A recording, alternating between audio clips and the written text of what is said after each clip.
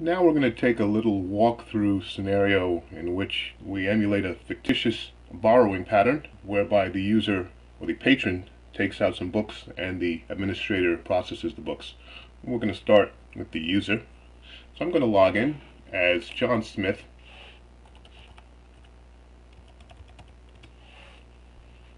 The first thing I'm going to do is go to my account and I see that I have no reservations, but I have a book that's overdue, and the book that's overdue shows up in red. I do have a chance to do a, re a renewal, but doing the renewal, of course, is not going to remove whatever fines I owe, but I do have that option. So now I can go ahead and get the books I need. have to do some uh, papers, so I need to grab a couple of books. First, I need Crime and Punishment by Fyodor Dostoevsky. So Let's do a subject search. We know that it's a nice little murder mystery, so let's see what we come up with for murder. And if we scroll on down, we'll see there it is, Crime and Punishment. I'm going to add it to my book bag. Note that my book bag now goes to 1. What else do I need? Let's do a title search for In Dubious Battle by John Steinbeck.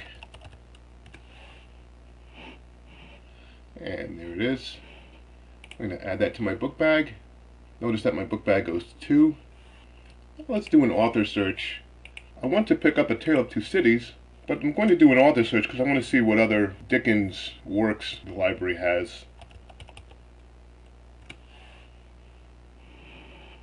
Okay, we have Great Expectations, Best of Both Worlds, I'm going to go ahead and grab the Tale of Two Cities. Notice my book bag now goes to 3. Now let's do a regular keyword search for Ray Bradbury's classic, Fahrenheit 451. And the find as you type helps me out. And I select from the list Fahrenheit 451. I add it to my book bag, and now my book bag stands at 4. So now that I really have all the books I want, I'm going to go ahead and show my book bag. Here are the items that I have. And the first thing I'm going to do is get this out of the way. I want to write a review for The Jungle. I actually read this already. I'm going to first give it a star rating. And I'm going to go ahead and write a review. Comes up with my name. So I'm going to write my deep and insightful review.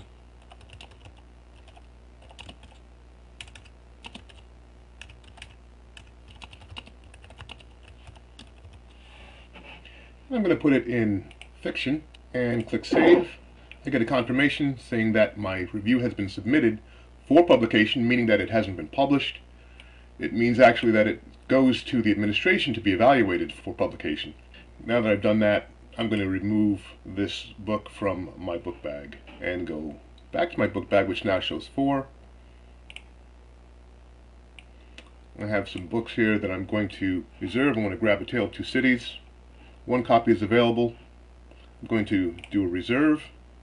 Asks me when I want to reserve it. I have a choice of using the date that shows, which is which defaults to today's date, or choosing a date at some point in the future.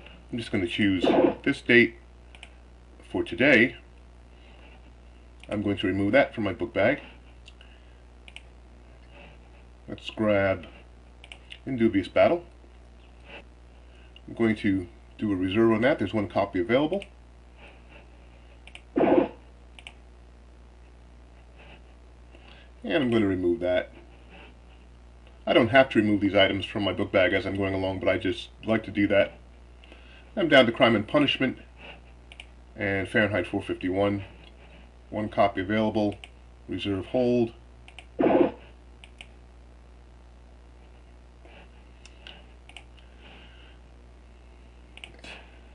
Down to Fahrenheit 451 and one copy available. Understand that if this book was not available, that is, if it had been borrowed, I would still be able to do a reserve.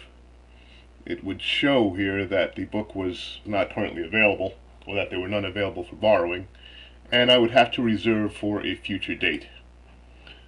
But in this case it's available, so I'm just going to go ahead and reserve.